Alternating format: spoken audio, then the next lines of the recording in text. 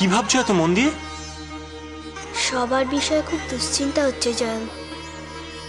সবাই কি মতামত দেবে কে জানে? আমি আরও একটা অন্য বিষয়ে চিন্তা করছি খনা। আর কি বিষয় জয়ন? খনা আমরা যেমন বিষয়টা নিয়ে অনেক কিছু ভাবছি পরিকল্পনা করছি তেমনি আরেকটা পক্ষ তো বিষয়টা নিয়ে অনেক কিছু ভাবছে। মহারানীকে অগ্নিতে আত্মসমর্পণ করতে বারণ করেছেন আচার্যদেব।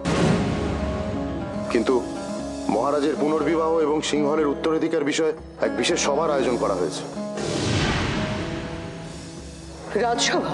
হ্যাঁ রাজবতী সবার মতামত জানার জন্যই সেখানে তো আপনিও থাকছেন? হ্যাঁ আমি তো থাকছি। সব রকম পরিস্থিতির সঙ্গে যুদ্ধ করার জন্য আমি প্রস্তুত থাকব। কিন্তু কিন্তু অন্য পক্ষ থেকে কি কি বিষয় নিয়ে প্রশ্ন তুলবে? হ্যাঁ আপনি প্রশ্ন তুলবেন। এই যে অগ্নিতে আত্মসমর্পণের নামে সতী মায়ের খেলা হলো, কি প্রয়োজন ছিল তার? মানুষের মনে উঁচু আসন পাওয়ার জন্য এই খেলাটা খেলা কি খুব জরুরি ছিল?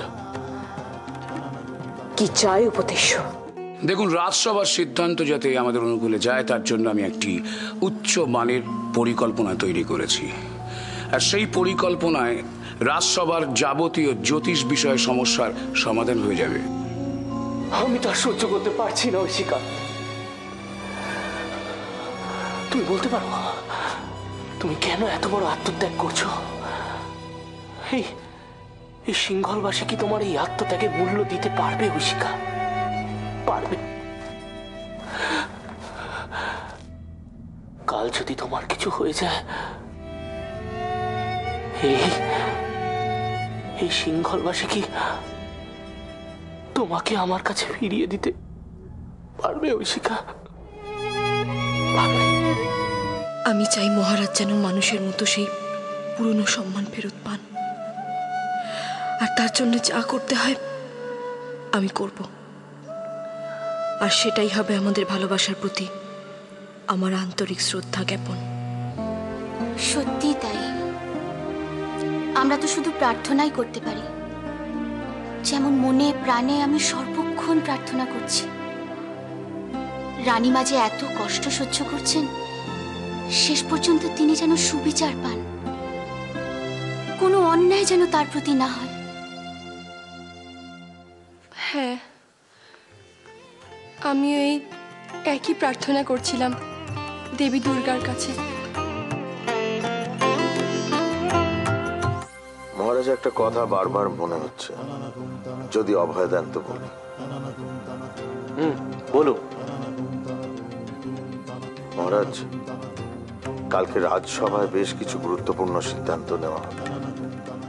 আপনি কি সত্যি রাজকুমার বা জয়দ্রথকে সেখানে ডাকবেন না? না প্রধানমন্ত্রী মশাই। মহানামা বা জয়দ্রত সেখানে থাকার কোনো প্রয়োজন নেই। উপদেশ্য এ ব্যাপারে তুমিই বা এত অনর কেন? রাজিমা এটাও খনারই বুদ্ধি। খনাই বলেছে মহানামা এবং জয়দ্রথ দুজনেই ঐশিকার খুব প্রিয়। তাই রাজসভায় সিদ্ধান্ত নেওয়াকালীন পক্ষপাতিত্ব হতেই পারে। রাজিমা আমাকে আশীর্বাদ করুন কালকে যেন রাজসভায় সব সব ভালো মতো হয়। আমি যেন সাফল্য লাভ করি। তোমার সাফল্য তো আমি সব সময় কামনা করি। কিন্তু উপদেশ্য আজ আমি ঐশিকার সাফল্য কামনা করছি অনেক বেশি।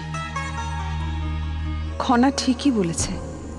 ঐশিকার ব্যাপারে পক্ষপাত দুষ্ট সিদ্ধান্ত নেওয়া ঠিক হবে না। কিন্তু যারা এই সিদ্ধান্ত নেবে, তারা ঐশিকার এই আত্মত্যাগকে সঠিক মূল্য দেবে তো?